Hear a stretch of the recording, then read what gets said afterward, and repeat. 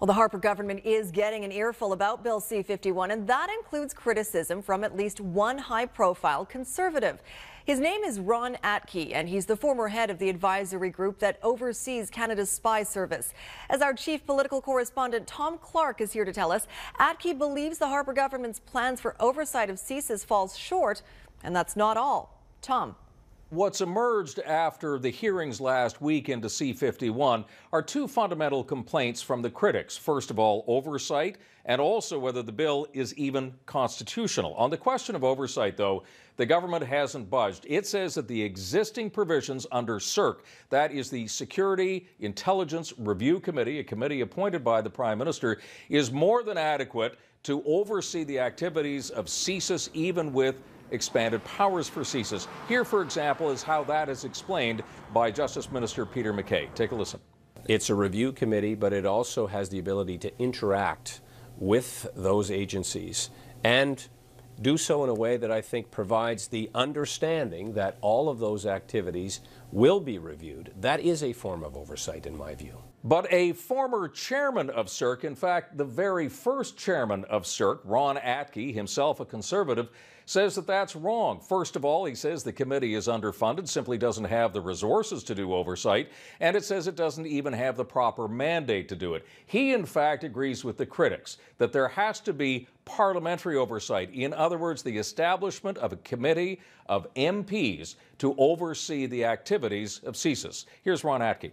Uh, I think you need a committee of parliamentarians who are properly security cleared, uh, members of the House and the Senate, uh, to uh, deal with problems as they arrive, uh, as they arise, and act as an overview committee to see that the problem is properly dealt with. It's delegated to the appropriate review body, as the case may be. As to that other complaint, Atkey agrees that the bill itself, or at least parts of it, may not even be constitutional specifically dealing with the provision that says that CSIS could go to a judge to seek an exemption from the Charter of Rights and Freedoms. That, he said, would probably never pass the sniff test in the Supreme Court of Canada.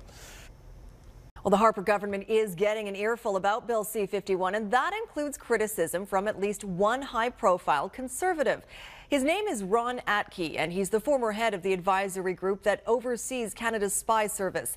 As our chief political correspondent Tom Clark is here to tell us, Atkey believes the Harper government's plans for oversight of CSIS falls short, and that's not all. Tom.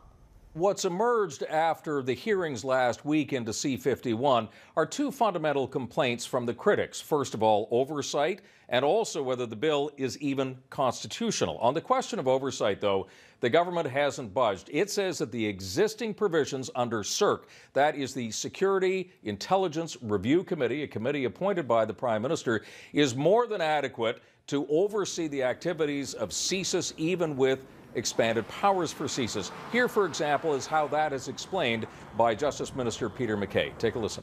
It's a review committee, but it also has the ability to interact with those agencies and do so in a way that I think provides the understanding that all of those activities will be reviewed. That is a form of oversight, in my view. But a former chairman of SIRC, in fact, the very first chairman of SIRC, Ron Atkey, himself a conservative, says that that's wrong. First of all, he says the committee is underfunded, simply doesn't have the resources to do oversight, and it says it doesn't even have the proper mandate to do it. He, in fact, agrees with the critics that there has to be parliamentary oversight. In other words, the establishment of a committee of MPs to oversee the activities of CSIS. Here's Ron Atkey. Uh, I think you need a committee of parliamentarians who are properly security cleared, uh, members of the House and the Senate, uh, to uh, deal with problems as they arrive, uh, as they arise, and act as an overview committee to see that the problem is properly dealt with. It's delegated to the appropriate review body, as the case may be. As to that other complaint, Atkey agrees that the bill itself, or at least parts of it, may not even be constitutional specifically dealing with the provision that says that CSIS could go to a judge to seek an exemption from the Charter of Rights and Freedoms. That, he said, would probably never pass the sniff test in the Supreme Court of Canada.